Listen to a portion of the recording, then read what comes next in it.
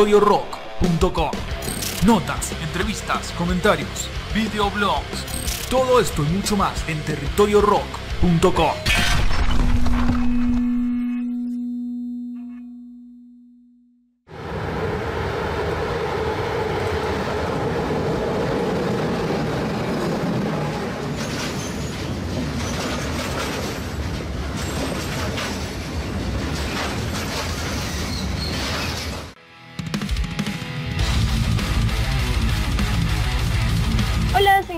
soy Ignacia Fernández, vocalista de la banda de Cesus y estamos en territoriorock.com.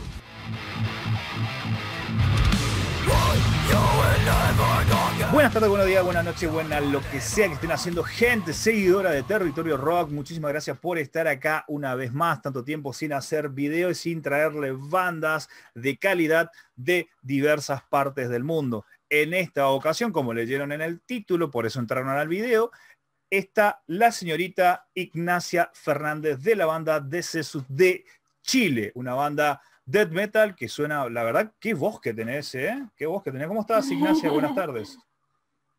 Muy buena, ¿cómo estás? ¿Todo bien aquí? Todo bien. Miren, miren que tiene una voz eh, angelical así cuando habla normal, y pero vos ves el video y la mira. "Oh, oh". Me convierto. Sí, te convertís, ¿no? Mucho, mucho, cara- mucho caramelo después de eso, ¿no? La verdad es que no. ¿No? ¿Cómo haces? es A ver, ¿cómo, cómo, cómo haces para, para mantener una voz gutural como esa? Contanos un poquito. Eh, la verdad es que no, no, no con mucha ciencia, la verdad me, me dediqué a estudiar bien la técnica, la técnica que requiere lograr este tipo de voz y eso, y aplicarla, aplicarla y estudiar bastante y eso, la verdad no hago nada en especial. Eh, yo canto y después hablo y sigo con mi voz de ardilla normal. Voz de ardilla. que Voz de voz de ardilla. sí, Eh, bastante con- chillona. Cons- ¿Considerás que hay, que hay un límite de, de- de edad para poder mantener ese tipo de voz? Te lo pregunto porque me quedó resonando una noticia de Corey Taylor, por ejemplo, que él mismo eh, en una entrevista dijo, miren, la edad me está pesando y no siempre voy a poder mantener ese tipo de ritmo arriba del escenario. Y co- recordemos que es un tipo que eh, tiene una voz eh, bastante poderosa, ¿no? Eh, Por eso te pregunto, ¿te, te ¿vos crees en eso? ¿Te llegaría a pasar? ¿Vos crees que te podría pasar? Yo creo que todo depende de cómo uno se vaya cuidando a lo largo del tiempo, de cómo uno, de qué tan serio uno se lo tome, porque es importante hacer los warm-up antes de cantar, después hacer enfriamiento vocal, cuidarse la garganta, eh, cuidar más, más que nada el cuerpo, porque al final el canto gutural o cualquier tipo de canto, tu instrumento está dentro tuyo. Y si tu cuerpo no está sano, entonces tu instrumento se ver afectado directamente. Entonces yo creo que tiene que ver mucho con cómo uno se cuida a lo largo de la vida. ¿Tocas algún instrumento? Toqué guitarra muchos años, pero lo dejé. Pero quiero retomarlo.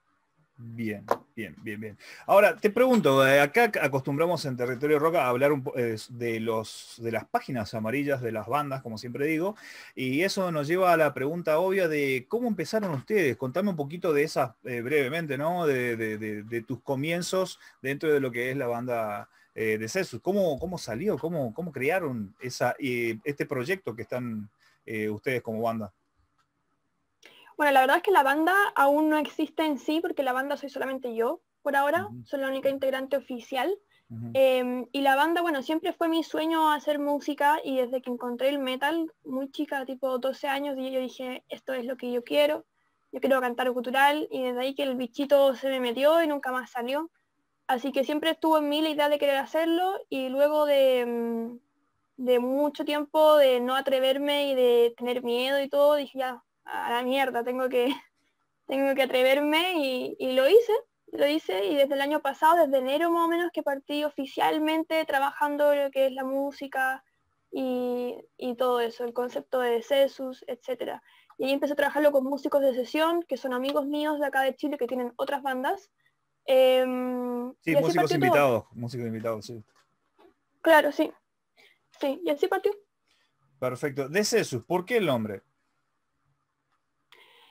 De Cesus y también Deliverance, que es la primera canción, es el es como, bueno, Deliverance es el la, letra es el significado del nombre de la banda, de Cesus, que significa el deceso de algo o la liberación de algo. Puede ser desde alguna atadura mental, alguna adicción, algún trauma. Eh, habla de, de, la superación de eso y de la liberación al final de lo que sea que te haya tenido estancado o atrapado. O sea que eh, dependiendo de la persona que lo escuche y su mambo mental, eh, lo determina para un lado o para el otro, ¿no? Claro, puede aplicar para diferentes problemas que uno haya tenido. ¿Cuánto, por eso de hecho el primer single... Sí, no, continúa, perdón. Por eso de hecho el primer single es, es, es Deliverance, porque quise hacer una canción, la primera canción, eh, que la letra sea como más o menos la explicación de lo que es el nombre de la banda, el significado que hay detrás. Perfecto. Eh, ¿Pretendés tener músicos permanentes o estás bien como estás? No, pretendo tener músicos permanentes. Perfecto. O sea y eso espero que se pueda concretar este año. Eh, o sea que estás haciendo una audición para, elegir gente o, o algo similar. ¿En qué estás? Más que, más que audición, eh, lo que pasa es que yo quiero que la base de la banda esté en Europa, porque mm. acá en Chile no hay muchas oportunidades. Y, mi intención es, moverme hacia Europa. Em, en Latinoamérica no hay... Latinoamérica no hay... Claro, o sea, es una mierda. Las oportunidades son nulas. Y no me quiero quedar atrapada en eso tampoco. Entonces hay que hacer lo que uno pueda. Eh, mi intención de irme para Europa y con eso tener la base de la banda allá. Entonces ya estoy en conversaciones con varios músicos de allá y vamos a concretar bien oficialmente una vez que yo saque el EP. Cuando, porque voy a sacar el EP por mi cuenta, al igual que trabajamos Deliverance con músicos de sesión, vamos a hacer lo mismo con los mismos músicos de sesión, vamos a lanzar el EP y teniendo eso, con los videos correspondientes, todo lo que implica, ahí vamos a concretar bien con estos músicos con los que yo estoy en conversaciones. Perfecto. ¿Qué, de qué país tenés eh, pensado ir? España, yo creo. España, perfecto. Sí, hay muy buenos músicos, de hecho yo conozco varios, te lo puedo recomendar. Te puedo recomendar inclusive hasta eh, como este ingeniero en sonido en, España, hay muy buenos eh, contactos ahí que sugerencia, ¿no? tomalo, déjalo. Eso no, muchas gracias, agradecen, todo sirve. No, obviamente, obviamente, todo sirve. Son gente que, conozco, al menos que pasaron por acá, por la casa de Territorio Rock. Eh, contame eh, eh, futuros trabajos, aparte de lo que ya mencionaste, que es lo que estás presentando actualmente. ¿qué, pretensiones tenés para más adelante? ¿Algo, un adelanto que nos me pueda decir? ¿Algo? Bueno, estamos trabajando en el EP. Ahora estamos, de hecho, ahora mismo estamos en eso. Estamos trabajando lo que serían los temas que van a estar en el EP. Em, estamos trabajando actualmente cinco canciones, más una intro y un outro, eh, evidentemente.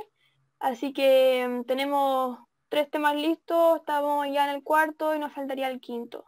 Idealmente nuestra intención es entrar al estudio en marzo, pero tenemos que ver con todo esto la pandemia, aparte que dos músicos míos son del sur de Chile y con todo esto las cuarentenas, traerlos a Santiago uno, es un riesgo, dos, es ilegal. Entonces, idealmente grabar en marzo. no, terrible, De hecho, este EP debería haber salido el año pasado, en mayo. Pero ahí estuvimos en cuarentena total. O sea, tú no podías salir de, sumado, la casa. Sumado a los disturbios sociales que está teniendo Chile, ¿no? Exactamente. Bueno, con el esto de la pandemia han parado un poquito. Ahora último sí han vuelto a tomar fuerza nuevamente pero no como estuvo en octubre del año 2019. Qué porquería todo esto. Mira, no te pregunto nada de tocar en vivo, pero sí te voy a preguntar eh, si estás haciendo streamings. ¿Streamings de, de concierto? Claro. No, no hemos hecho porque, como te digo, estamos recién trabajando en el EP. Pero la intención es, eh, para el lanzamiento del EP, mi idea y lo que me gustaría hacer es hacer un streaming eh, presentando el EP entero, bueno, más el single que ya salió, Deliverance. Espectacular. No, ya me cansé, mira, desde que empezó esto de la pandemia hasta la actualidad, he entrevistado muchas bandas y yo ya no pregunto el tema de, tocar en vivo porque en ninguna parte del mundo se, puede. Eh, pero sí que puede haber streaming.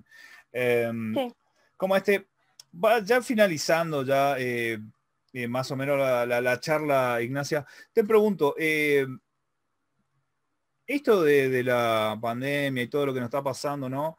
Eh, ¿Crees vos, vos como persona, ¿no? Que te puede afectar en tus futuros trabajos en cuanto a la composición de las letras, sobre todo de una manera eh, existencial o política? Yo creo que no tanto, ya que mm, ya escribo sobre esas cosas.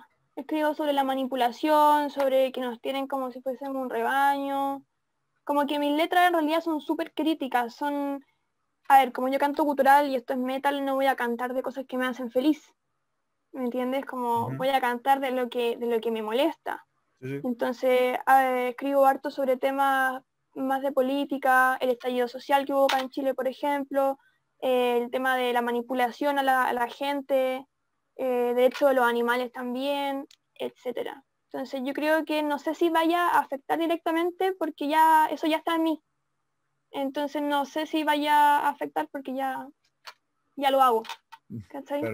perfecto, perfecto. Y por último, eh, Ignacia, eh, te pregunto, pregunta clásica de acá, de este segmento de Territorio Rock llamado Lo bueno o lo malo. Por lógica te voy a preguntar lo siguiente, ¿qué es lo bueno y qué es lo malo de Decesus según vos? Wow, qué difícil. bueno, lo bueno lo bueno es que yo creo que recién está partiendo y que tenemos mucho que mostrar, eh, mucho que hacer y mucho que explorar, claro, mucha energía de, querer hacer cosas, de querer entregar material, idealmente material que les vaya a gustar. Y mm, eso yo creo que es lo bueno, que tenemos mucha energía para seguir adelante, pese a que el mundo se está cayendo alrededor de nosotros en estos momentos. Em, lo malo la pandemia, que nos ha afectado muchísimo en, el avance, nos ha frenado mucho. Si no fuese por la pandemia, el EP ya estaría hace rato afuera y quizá estaríamos trabajando ya con los músicos oficiales mm, en un disco, ponte, no tengo idea. Entonces yo creo que lo malo es que estamos frenados por las circunstancias actuales. Perfecto, perfecto. Ignacia, ¿me repetís las redes sociales y páginas oficiales a donde pueden encontrar el material de Cesus? Bueno, YouTube estamos como de Cesus, nada más que de Cesus. Instagram de Cesus oficial y Facebook de Cesus también. Perfecto. Siempre le hago también estamos en Spotify, de. No, siempre le hago siempre le digo que repitan el, acá en la entrevista por una cuestión de que apoyen en las en los sitios oficiales, no a la gente que resube. Por fin. ¿Sí?